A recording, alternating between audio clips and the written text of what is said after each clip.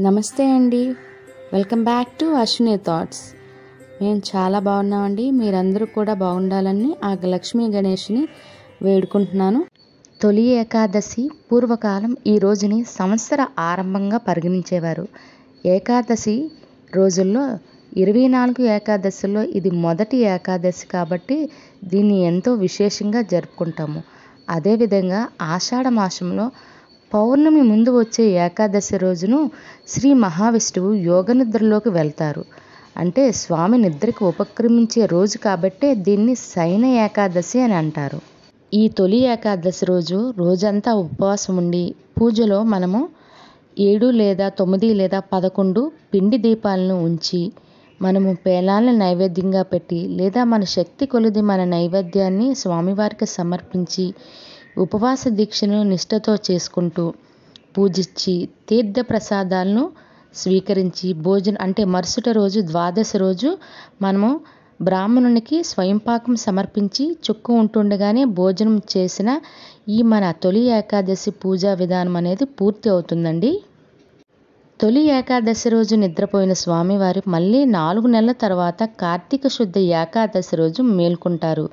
ఈ యోగ నిద్ర ద్వారా భూమిపై రాత్రి సమయాలు పెరుగుతాయి. మరి ఈ ఉపవాస సమయంలో ఏమీ తినకుండా ఉండాలండి? చాలామందికి బీపీ షుగర్లు ఇలాంటివి ఉంటాయి కదా. ఏ విధంగా అంటే మనము పళ్ళు తినవచ్చండి.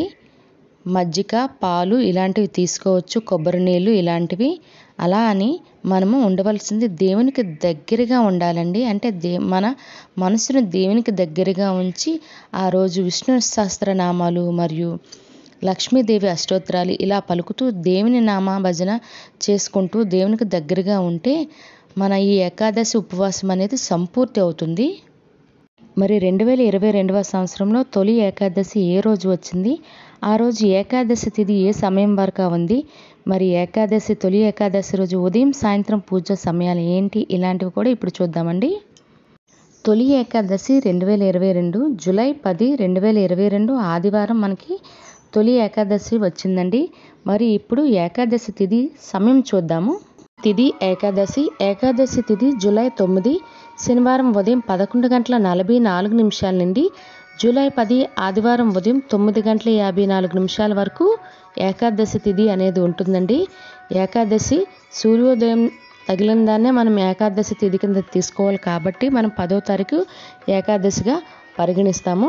తదుపరి ద్వాదశి తిథి ప్రారంభమవుతుంది. ఇప్పుడు తొలి ఏకాదశి ఉదయం సాయంత్రం పూజా సమయాలు ఇప్పుడు చూద్దాము. తొలి ఏకాదశి ఉదయం పూజా సమయం తెల్లవారితే ఐదు గంటల ఐదు నిమిషాల నుండి ఉదయం పది గంటల పదహారు నిమిషాల మధ్యలో పూజ ప్రారంభించుకొని ముగించుకోవచ్చండి. మరి ఇప్పుడు సాయంత్రం పూజా సమయాలు చూద్దాము. తొలి ఏకాదశి సాయంత్రం పూజా సమయం సాయంత్రం ఆరు గంటల ముప్పై ఆరు నిమిషాల నుండి రాత్రి ఎనిమిది గంటల రెండు నిమిషాల వరకు ఇవి తొలి ఏకాదశి ఉదయం సాయంత్రం పూజా సమయాలండి.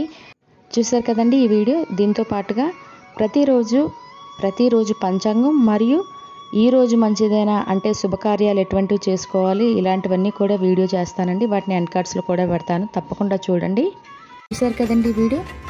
మీకు ఈ వీడియో నచ్చినట్లయితే మీ ఫ్రెండ్స్ అని మీ ఫ్యామిలీ మెంబర్స్ కానీ ఈ వీడియో అవసరం అనుకుంటే వాళ్ళకి ఈ వీడియో ఫార్వర్డ్ చేయండి. మరిన్ని ఇంట్రెస్టింగ్ వీడియోల కోసం అశ్విని థాట్స్ ఛానల్ని సబ్స్క్రైబ్ చేసుకోండి. బెల్ బటన్ టచ్ చేసినట్లయితే ప్రతి నా వీడియో మీకు నోటిఫికేషన్ కింద వస్తుంది. ధన్యవాదములు.